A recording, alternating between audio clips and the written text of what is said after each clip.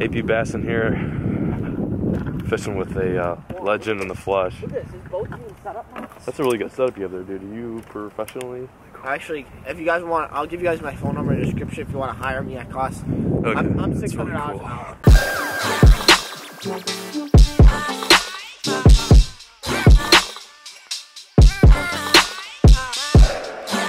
First fish of the day, or second fish of the day, sorry. on that curl tail, curl tail grub. All right, let's get a weight on it.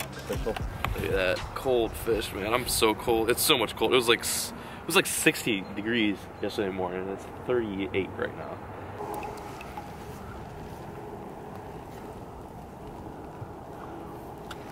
Man, they do not want So what's the pattern today for AP Bassin? How are you looking to pull the one today? Um, looking at just flipping and flipping reeds all day. That reed pile right there. I got you.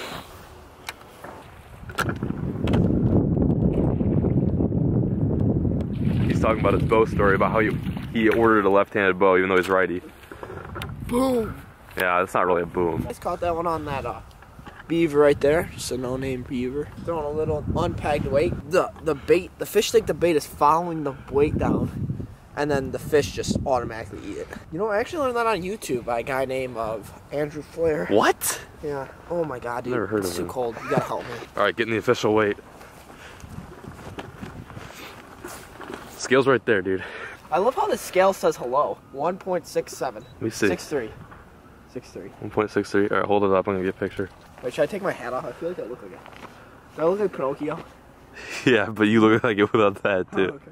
It's been kind of warm lately here in uh, Illinois, and I think even though it's been the air temp's been kind of heating up, the water temp's kind of stayed similar to the same, even in these smaller ponds. And uh, the water temp right now is probably in like 45 degrees. It's just super cold.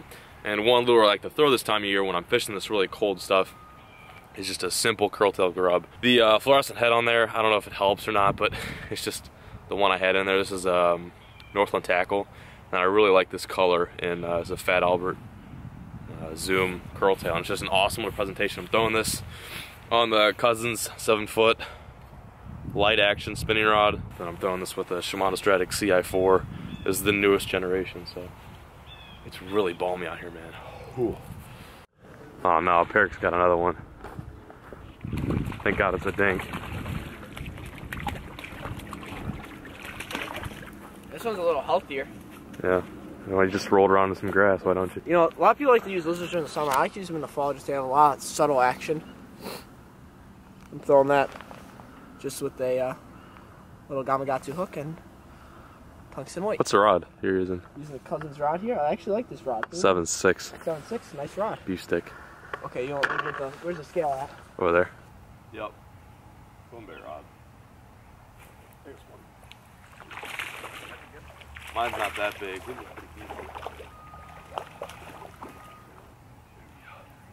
Okay. Pretty fish today.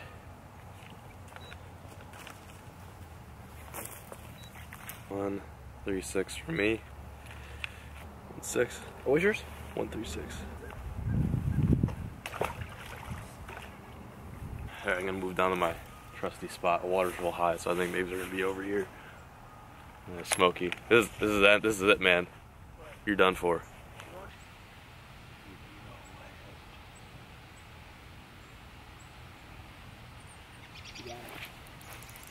Nice one too. That's a nice one. They like that one.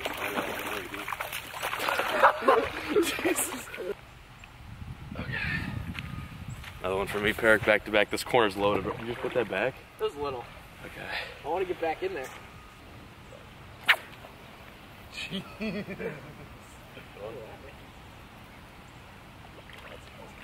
Oh. What I'm doing right now is I'm using like a flipping rod and a big lizard. And I'm catching bigger fish. He's fishing some little fairy stick over there. Oh.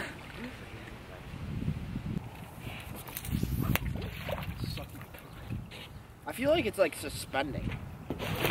Oh my god. No, it's my tungsten. Berg just lost a giant, so we're gonna leave right now.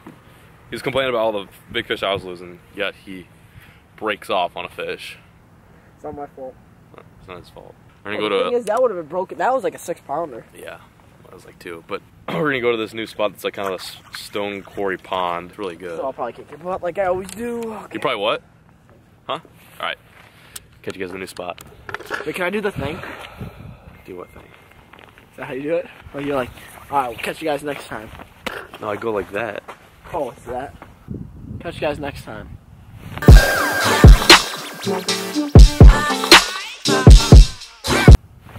Okay, that was sick.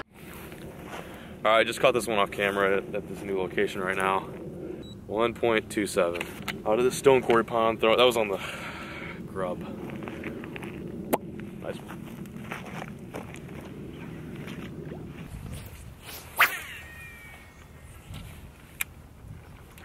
Okay, new spot. Going to the, go to the next spot. Hey man, are you gonna pick that up for me? Do you get my tripod at least, dude? You're so clo- you're a lot closer than I am. Yes. Be careful you don't drop any of it. Thank you. Well, it's a good sound. There's one. Oh.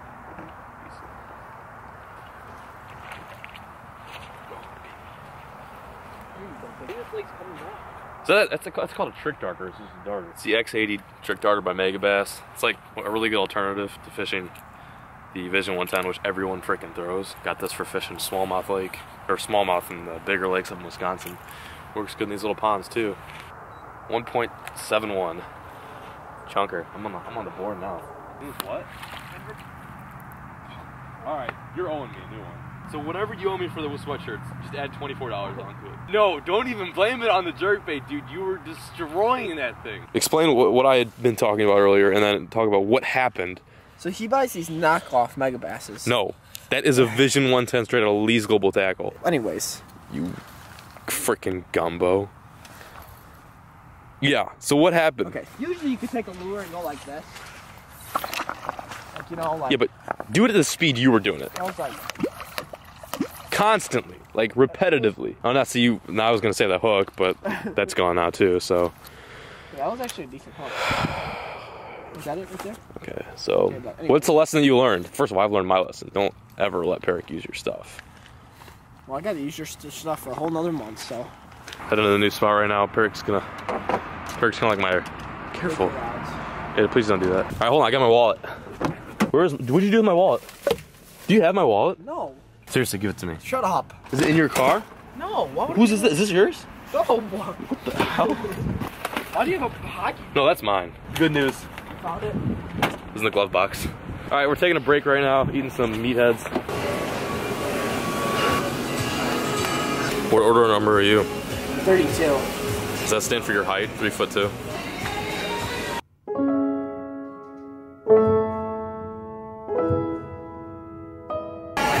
Videos are not even fishing anymore. They're more like. Like, take your channel for example.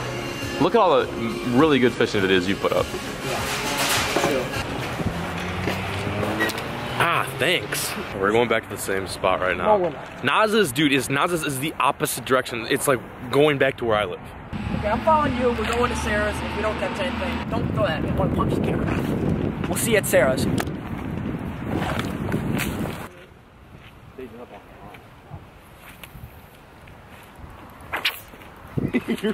Why are you freaking ripping them like that?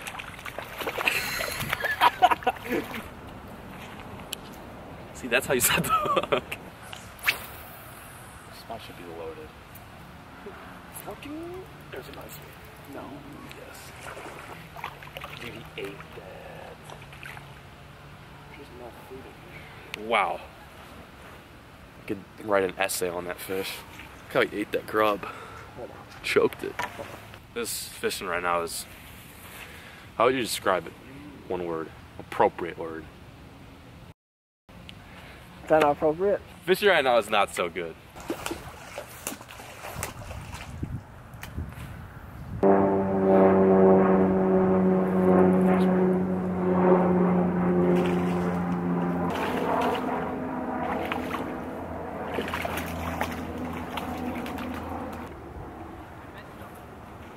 these fish are really tiny. Usually we catch like two pounders out of here.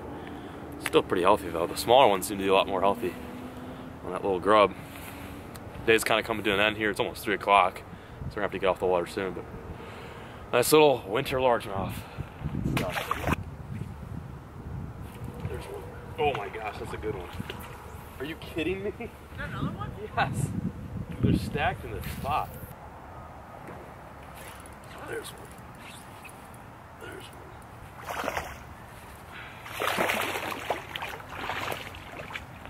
Oh. It's like these little grubs are super, super subtle, and they just get get bit when some some other larger presentations don't. Yeah, nothing huge. Again, we're fishing a pond, so you can apply this to big lakes, but I'm not really making a, a real good point of this. I'm gonna move down now, see if I can find some a little bit deeper water without as much grass.